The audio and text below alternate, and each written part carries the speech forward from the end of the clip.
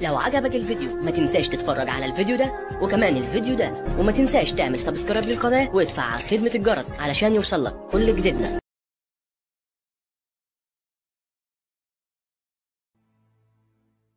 بسم الله الرحمن الرحيم. والحمد لله رب العالمين. والصلاة والسلام على سيدنا محمد أشرف المرسلين.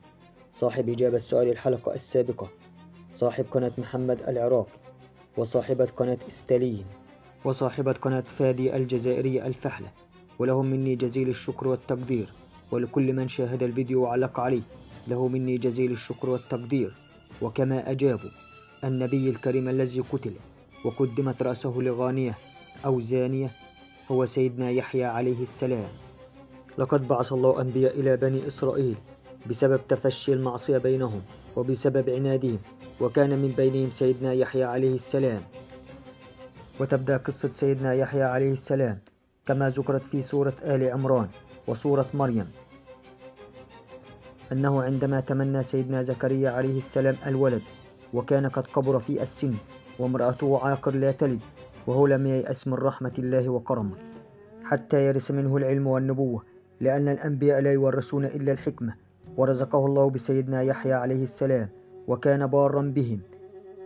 وكان سيدنا يحيى عليه السلام يحب والده حبا شديدا.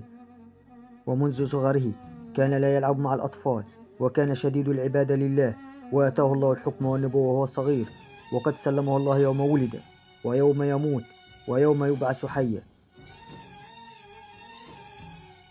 وكان سيدنا يحيى عليه السلام حصورا أي لا يأتي النساء وكان يأمر بالمعروف وينهي عن المنكر وجاءه ملك من الملوك في عهده وطلب منه أن يأذن له في زواج امرأة من أهله. ورفض سيدنا يحيى عليه السلام لأنه حرام شرعا فما كان من المرأة إلا أن ذهبت للملك وتزينت له وتبرجت له وتعطرت له فما كان من الملك إلا أن أرادها. فقالت له بشرط أن تأتي لي برأس يحيى عليه السلام. فأمر الملك حاشيته بالذهاب إلى سيدنا يحيى عليه السلام وأن يأتوا له برأسه فذهبوا إليه. ووجدوه يصلي فقاموا بقطع رأسه ووضعوها في طست وقدموها للملك والرأس تسيل دما. وقدم الملك رأس سيدنا يحيى عليه السلام لامرأة زانية.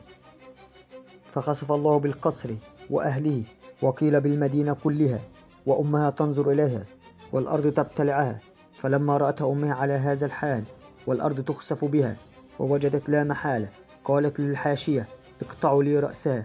حتى أواسي نفسي بها. فهذا جزاء من يقتل يقتل وهذه هي شريعة الله في أرضه. فالشيء بالشيء يذكر. مثل قضية فتاة المنصورة التي أصبحت قضية العام. يجب أن يعدم القاتل كما قتل ومثل بالجثة لأن لنا في القصاص حياة. ويجب علينا أن نطبق شريعة الله في كل شيء. وسؤال حلقة اليوم. أذكر معجزة سيدنا إبراهيم عليه السلام. هذا وبالله التوفيق.